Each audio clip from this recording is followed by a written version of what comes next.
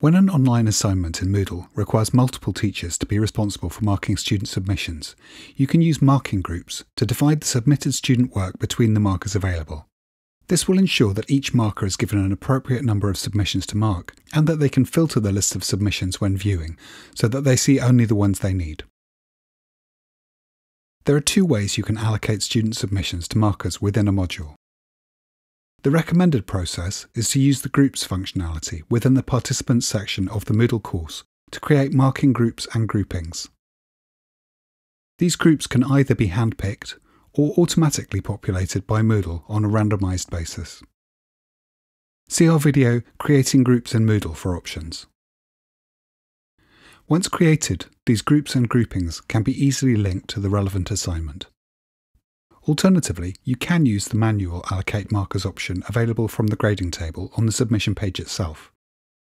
This is a more labour intensive process, lacking the ability to automate or randomise marker allocation, which furthermore will need to be repeated from scratch for every new assignment. But it can be a useful bespoke method for small cohorts. To allocate student submissions using marking groups as recommended, go to the Participants section of the course and create a group for each marker, using their name in the group title. Divide all students between the marker groups you've created. This can be done randomly, which is the quickest method, or by assigning specific students to specific markers if preferred. Once your marker groups have been created in this way, you will then need to add them to a grouping to be able to link it to the assignment. Include the name of the assignment in the grouping title, for example, Dartmoor Essay Marking Groups. See our videos Creating Groups in Moodle and Group Submissions in Moodle for detailed guidance in these related processes. With these preparatory steps completed, you can now link your marking groups to the relevant assignment. Go to your assignment, click Edit, then Edit Settings. Scroll down to Common Module Settings near the bottom of the Assignment Settings page.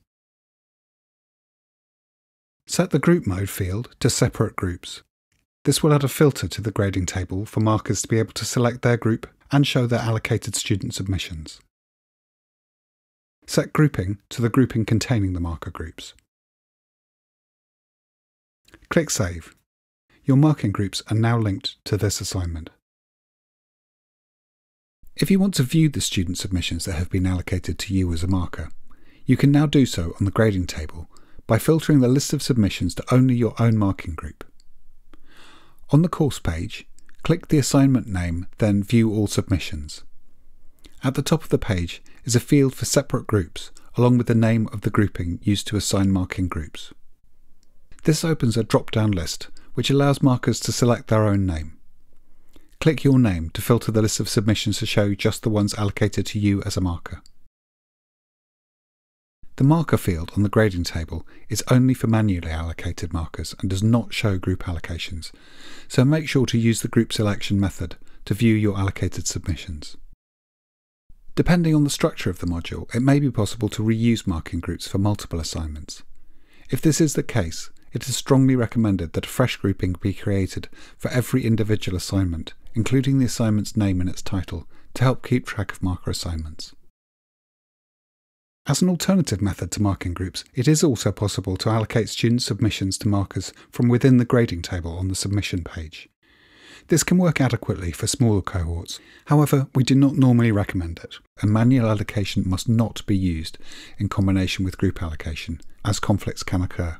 The aforementioned marking groups method is a much more robust and efficient approach. If you do wish to allocate markers manually, go to the grading table, then click View All Submissions. Tick the checkbox next to each student's name to select the students to be allocated to a marker. Open the With Selected drop-down menu below the submissions and choose Set Allocated Marker, then click Go. Choose the relevant marker from the drop-down list of allocated markers' names. The name of the marker will now show in the marker column on the grading table.